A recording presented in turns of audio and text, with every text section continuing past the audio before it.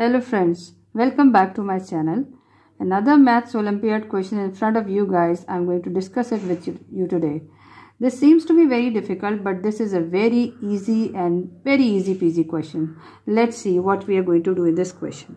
The question is 2 raised to the power 100 minus 2 to the power 99 minus 2 raised to the power 98 we are going to do in this question, we are going to split the powers in the form of 98 and the next number.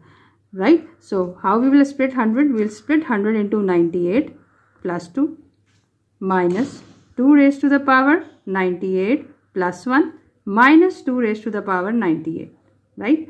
Now, according to the rule, as you all know, then when a raised to the power m plus n can be written as a to the power m dot a to the power n. So you can write this term as 2 raised to the power 98 dot 2 raised to the power 2 minus 2 raised to the power 98 dot 2 1 minus 2 raised to the power 98. So look at these three terms 9 2 raised to the power this this and these are the three common terms that we can take out right.